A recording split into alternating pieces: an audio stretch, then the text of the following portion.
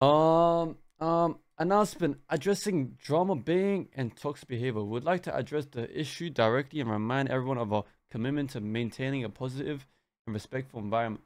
We want to emphasize that drama baiting and toxic behavior has no place in our community. We expect all members to treat one another with respect and engage in discussions with civility and empathy. It is important to remember that differing opinions can be expressed constructively without resorting to personal attacks or intentionally creating conflicts.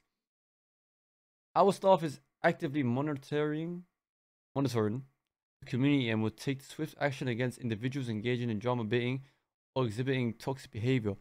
If you witness any incident or have concerns regarding specific individuals, we encourage you to reach out to our staff or report the issue promptly. In the face of such situations, we urge you not to exacerbate problems by engaging in or encouraging drama for the sake of intentional or personal gain. Instead, let us work together to create an environment where open dialogue, understanding, and growth prioritize. We value each member's contribution and diverse perspectives. Bro, I can't be asked to read all this. I mean, like, read out loud. On a positive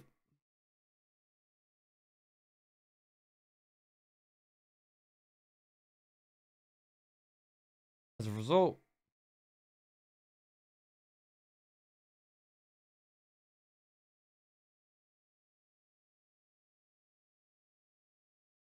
How does that work though?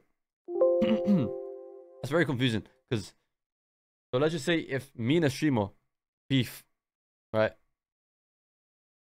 Uh, well, like let's just say we have our own problems. Obviously, um, I guess it's good because it encourages to I guess it, it encourages to keep it in DMs and not. You know what I'm saying?